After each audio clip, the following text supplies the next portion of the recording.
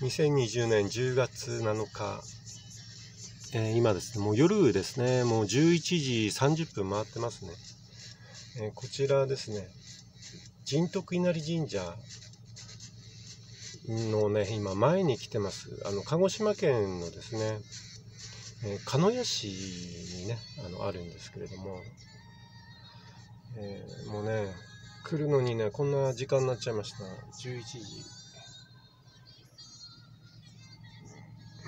車の中からなんですけどねあのここのね神社があのクリスタルガラスでできてる鳥居があるということで結構ねあの紹介されてるのでねちょっとあの来てみたんですけれどもとね車から降りてみましょうね。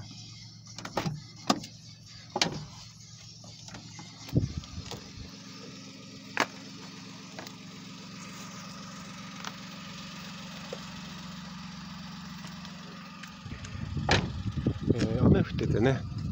ちょうど、あ、あの、まだ雨降ってますけどね、小雨ですね。えー、こちらですね、クリスタルガラスでできてる、もうちょっとね、夜でね、うん、なかなかね、映らないですけど、でね、キツネさんがね、うん、左右にね、いますね。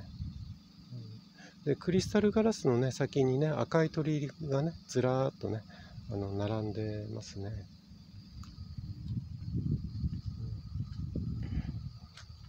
まあねあただあの神社のね奥はねあの明かりがやっぱついてますねちょっとでもね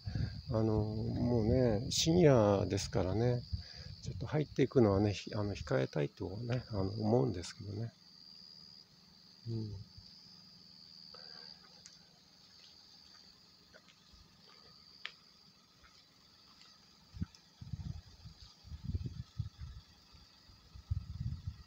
日中でしたらねちょっとあの奥にね入っていきたいと思うんですけども。